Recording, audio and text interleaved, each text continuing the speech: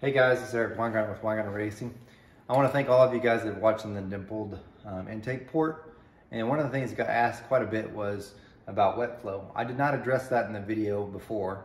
And the reason for is it's I can't give a quantitative answer about wet flow. I can't positively identify a gain or loss um, besides a visual representation of anything to do with wet flow. So in other words, um, with airflow, it's real easy. We could just look at a number and say, hey, it gained flow or it lost flow. With wet flow, it's there's no real way to give you that exact information. So it's a lot of speculation. Anyway, one of the things though that did get brought up was why don't you spray, spray Dykem in there? For those that don't know what it is, this is Dykem, it's blue fluid. You can use it on valve seats and stuff whenever we do valve jobs. We'll spray it on the head and then we'll cut the seat and you can see what's been removed. Anyway, this is an aerosol. And what we'll do is we'll spray it into the port and I'm gonna spray it from about this distance, give it a couple of toots and let the air get sucked in and pull it that way. And then we'll take the head off and we'll see what the pattern looks like. Hopefully, I'm only gonna do it like three times maybe. Probably should do it two, but I'm gonna go for three because I hate for it to have nothing. But anyway, we'll see what it looks like and see what's happening. Um, I'm gonna turn on the bench. But I do wanna point this out. Um, the valve lift it's at, it's at 700 lift. And the reason for it is if you watch the other videos, you would have saw that at 600 lift, it actually flowed more than it did at 700 lift. So I'm more curious. So that's part of the reason why I'm doing it at 700 lift to see what the liquid's doing. I do also plan to do it on the non-dimpled port, but just not today. So I'll probably tag it on this video, but you may not see it in the correct order. Anyway, so I'm gonna set this down, put on my air protection, turn on the bench, and give it a couple of toots, and you'll get to see that.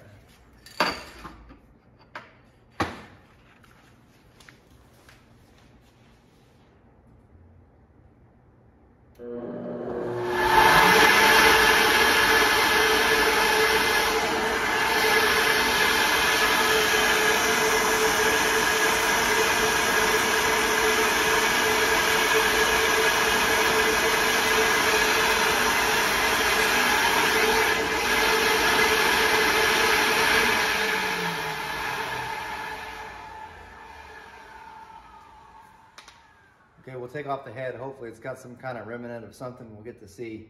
I've done this before in the past, and as a warning for those that do it, if you leave it on, one, this even has a warning label that it's flammable, so probably not the best idea to leave it on, but if you leave it on too long, the flow instantly goes down and kind of changes things. And the reason why is the Dykem will actually stick to the back of the valve, and it messes up the angles on the valve job itself, so it makes the flow look worse than what it is, so it kind of messes things up. But anyway, we're gonna take this off, we'll take a look and see if we see anything. Right. Okay, this is what I see immediately. I probably did spray too much. You can kind of see. Probably should have just done two quick sprays. Three might have been overdoing it. Maybe we'll redo it in a little while. My wife just gave me an angry face, so maybe not. but anyway, um, we'll see. Let me take off the valve and let's see what it looks like underneath. Okay, here's what the Dykem showed. I sprayed too much. I should have known better. Um, anyway, it doesn't really reveal a whole lot besides you sprayed too much. Um, the only spot you can see it actually is just like there. Let me get a flashlight. Well, maybe not because I can't, there it is. There you go. You can see where it landed. It splatters on the back wall and then rolls right there. So at least you get some idea what's going on. Because, I mean, after all, you think about it, like the flashlight, it's spraying in here, and it didn't hit anywhere on the top. Like, I can do this whole port here. Maybe something there. Nope. There's none. It doesn't hit anywhere until it hits the back wall of the bowl. Right there. And that's where you see. So, sorry if my lighting sucks. I'm not, I'm not a camera guy. But anyway, there kind of gives you some indication. Let's look at the rest of the chamber though, and I'll get you a better view. You can see it comes out, blam, and then kind of carries. The reason why it smooches over is because there's too much. I think if I'd used less, I still would have had the same pattern, just probably not as much. So that's kind of an interesting result. I might try this after I get done porting the whole thing and see what happens with it. But um, yeah. Hmm. Let me look at the bore now. I want to see if it did anything on the bore. Okay, so this is the cylinder bore so you can see what's happened. This is the Dykem you see. It's weird that it's there, I will say, because if you think about it, it's really sm smashed here and somehow it's over here. Like if we look at the port itself, really it was here, but somehow it got over here. I would have expected more on this side and none over there. But evidently I was wrong. So, and you can see how far down it goes. So I'm to clean all this off. I know I didn't do a very good job. I might redo this test so you can see too much and then I'll maybe I just do one quick toot. Don't see any at the bottom here, thank God. Be mad if it got under my bench. Done that before. Anyway, there you go. Hopefully that's a better view. Something to think about. Okay, this is with me uh, spraying much less than at a higher angle. And I'll show you what over in the head. But I'm over here by the bench, so I thought, thought I would show you the pattern. There's where it is on the bore. Trying to see if there's anywhere else. That's a negative. So that's the Dykem from the spray. Now let's take a look at the head. Now remember, this is a much smaller spray than I did the first time. So let's take a look what the head looks like. Okay, this is the head. Same spot, I just didn't spray as much, so hence it's not coming through like it did before into the chamber. So by spraying more, it did that. But it did do something weird. But I'm gonna lay the head down to kind of show you what I, how I sprayed it so you can see what happened. So, lay the head down like this. So let's pretend this is on the bench. My wife didn't want to film again. Don't blame her. I was actually spraying like up here, about three foot away. So what's happening is the air is grabbing it and pulling it into the port. But look inside the port now.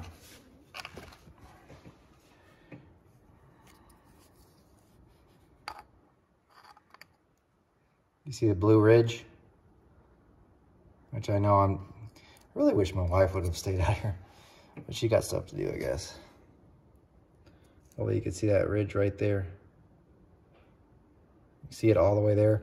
By the way, you can see how it hits the vane, if the camera would focus correctly.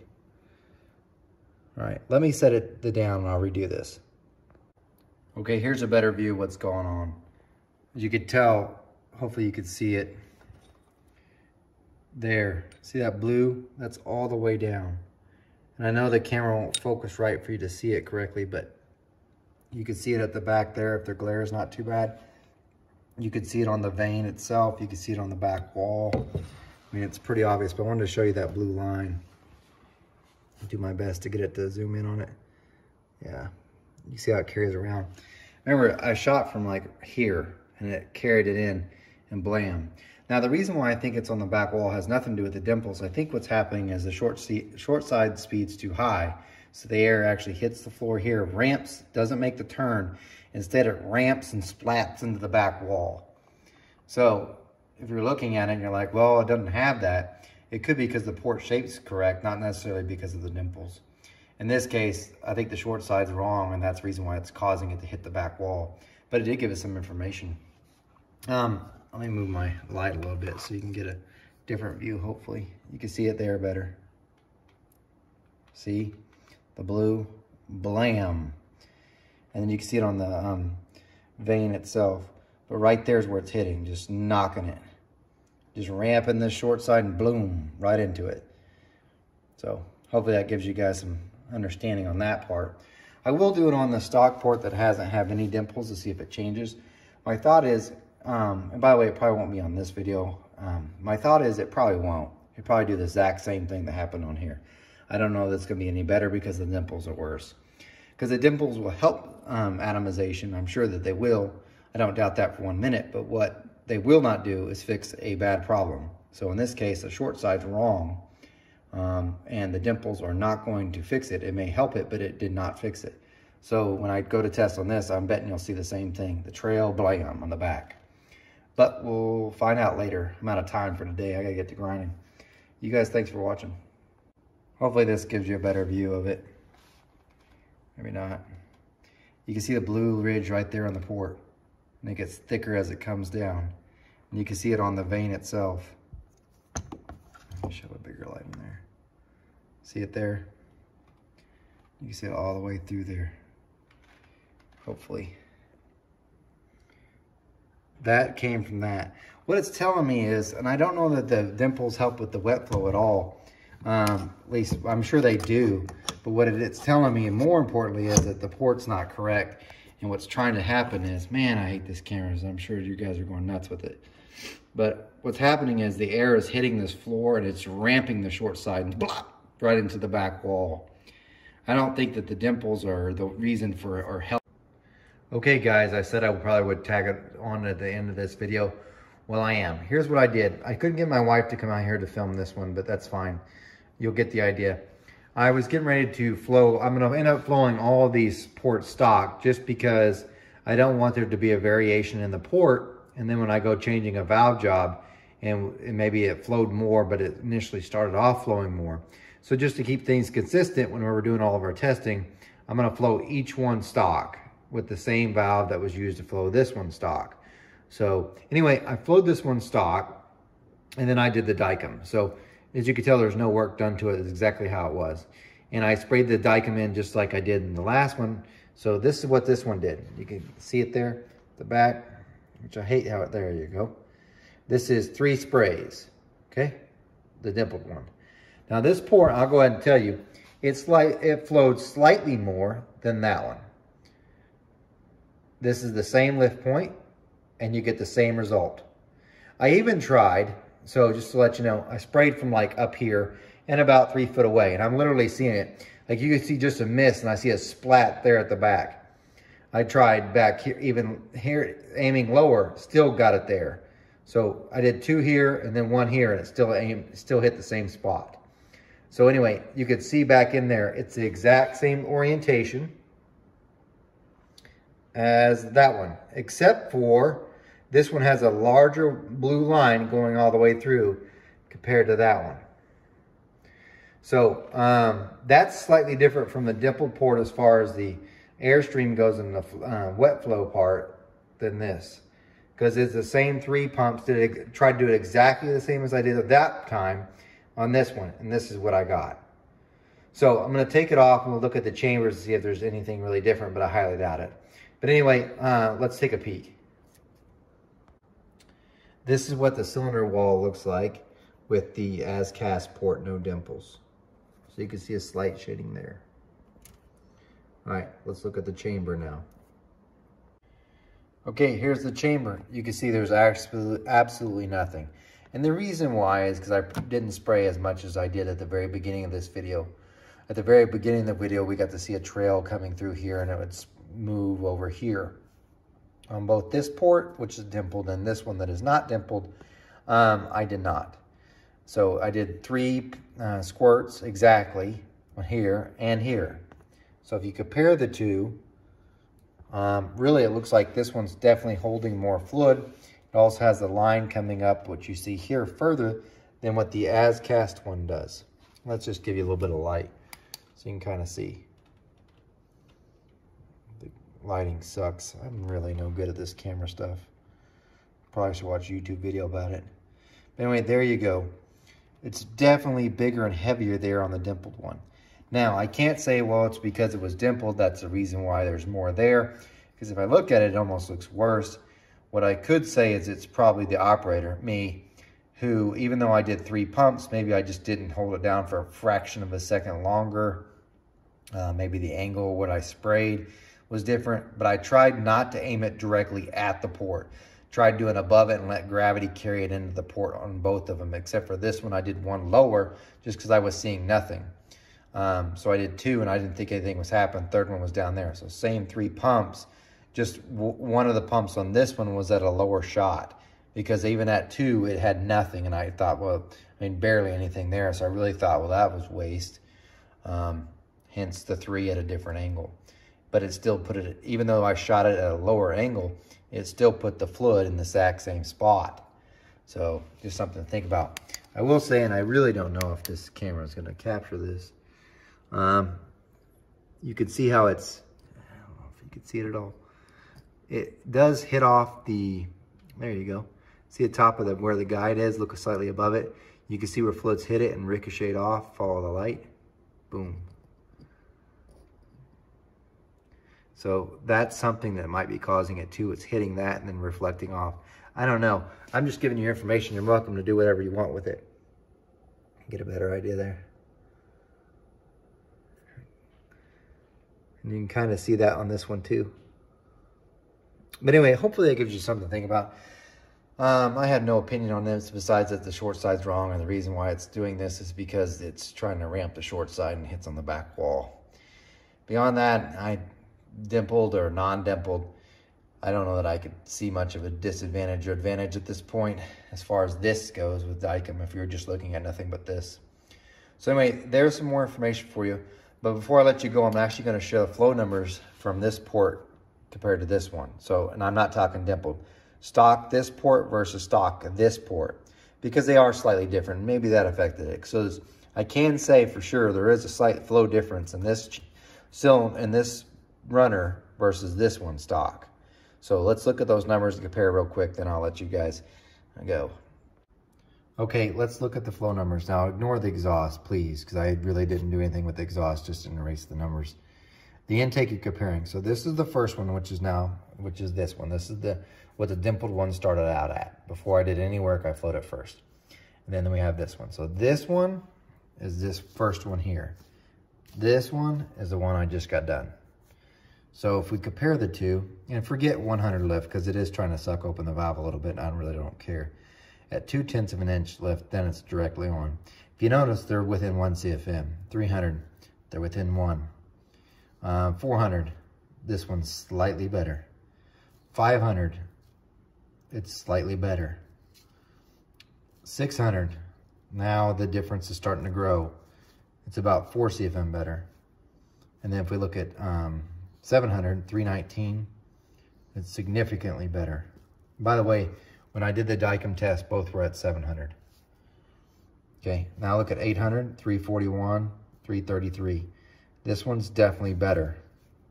And then at 900, 345 to 343, peak 346 to 348.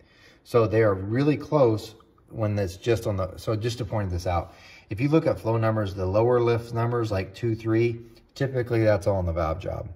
So as long as the valve jobs are the same and the chamber transitions is pretty much the same, they're going to flow the same. But the rest of this, say after 400, then it's more on the port. So because these are as-cast ports, um, there will be a slight difference from core shift. You get the idea. So point being is, this one did better than the other one. So that might have affected the reason why the Dykem might be different, but I thought I'd show you, okay? Some of you may want me, why don't you just go ahead and dimple that one, then we can see the difference. I'm not going to waste this whole entire head just to dimple. I'm just going to tell you. So I did one. Maybe when it's all said and done, I'm done doing stuff, I'll put some dimples on. We'll ch check, check again. Matter of fact, that's probably what I'm going to do. But this one's going to be the most, because from your votes, this is what you picked. You want the most aggressive 45 degree valve job I've got. That's what's going on this. This one's going to be one I do my normal stuff on. This one's going to be a 50 degree valve job.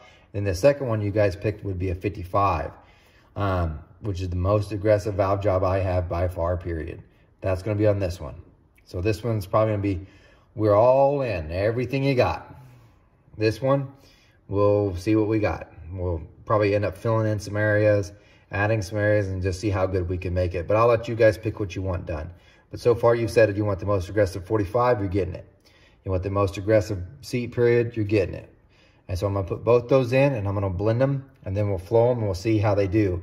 I still have to flow this one stock because I don't want to give a bad example because I flowed this one stock. I'm to flow this one stock too so we can see how much it gained from what it was stock and you get the idea. Anyway, stay tuned. I don't know when this is to, next one will be out, but um, I'm time limited, but when I can, I'll get it out for you. You guys take care.